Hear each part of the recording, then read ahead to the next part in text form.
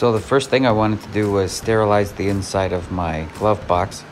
So I mixed up 20% uh, bleach solution, fastened the box down. I put some paper towels in the bottom to soak up all of the spray, make uh, cleaning up a little bit easier. And then tried to spray everything inside the box. One thing I learned that uh, would be helpful is to make a bigger glove box because this spray bottle took up almost the whole thing. It was really hard to work around.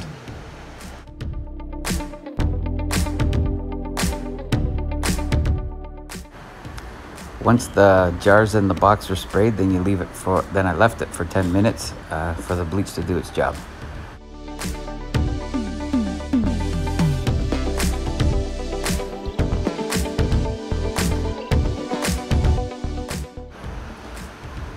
Next, I opened up a brand new bottle of hydrogen peroxide that I would use to disinfect the seeds.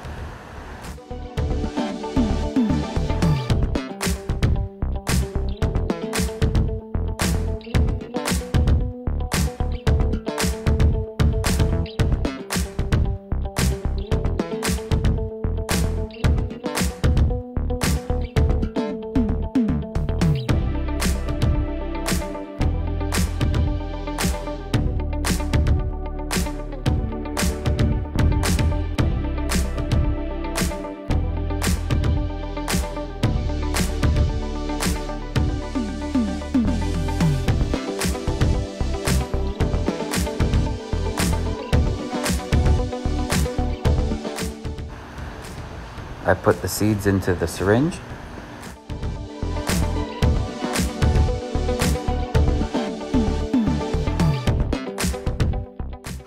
Put the plunger back in the syringe. And slowly remove the air.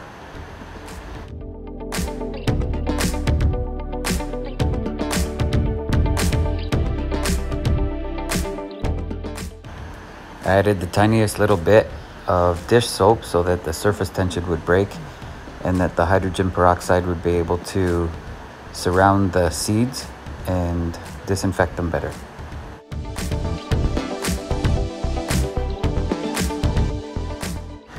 The recommendation I got from the YouTube channel here but not uh, was that um, this process should take around 10 minutes. You don't want to go too much longer than 10 minutes because it will have a damaging effect on the seeds. And you don't want to go too much less than 10 minutes because it won't do the disinfection that you want it to do. Another tip that I got from that uh, channel was to compress the syringe and also expand the syringe so that you would change the pressure inside and allow the hydrogen peroxide to completely surround the seeds and disinfect them.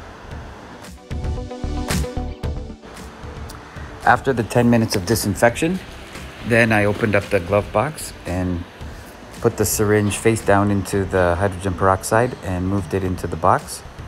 And the next thing was just to take small drops of the seeds and add them into the prepared jars. It sounds easy, but it takes a little bit of patience.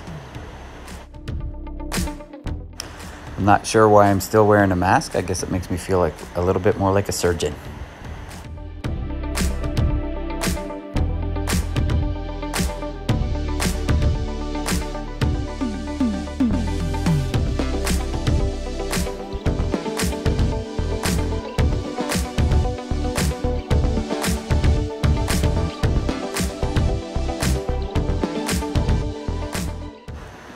Once that was done, I tried to cap them as best I could inside the box and then opened the box up and once again sealed the tops with saran wrap.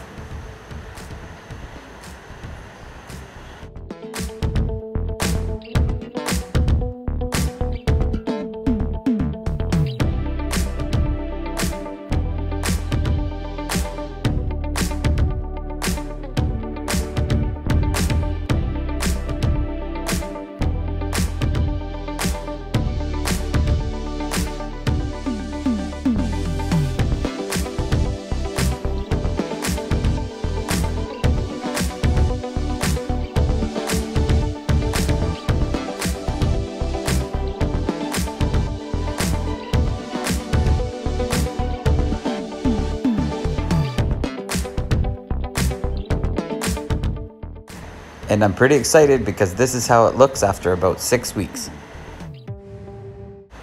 Stay tuned for part four.